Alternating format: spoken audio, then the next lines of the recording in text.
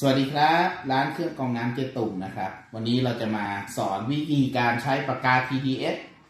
วัดอ่าเขาเรียกว่าวัดค่า ppm ที่ถูกต้องของเครื่อง RO นะครับ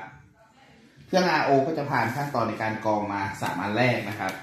หลังจากนั้นก็มาจะมาที่เมมเบรน RO ตัวนี้จะเป็นตัวอ่ากรองละเอียดนะครับ จะกรองละเอียด 0.001ไมครอนนะครับ หลังจากนั้นก็จะมาโพสต์ นะครับ วิธีการวัด RO อะของค่าน้ำ RO ที่ถูกต้องคือต้องวัดออกจากหลัง membrane เท่านั้นนะครับ คือวัดออกจาก membrane ก่อนเข้า post carbon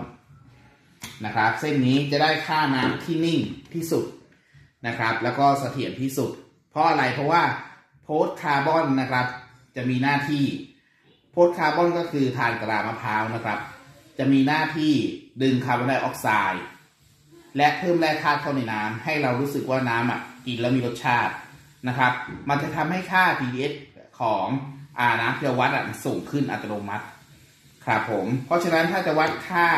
RO ที่ถูกต้องต้องวัดก่อนเข้าโพสคาร์บอนเท่านั้นนะครับ ขอบคุณครับ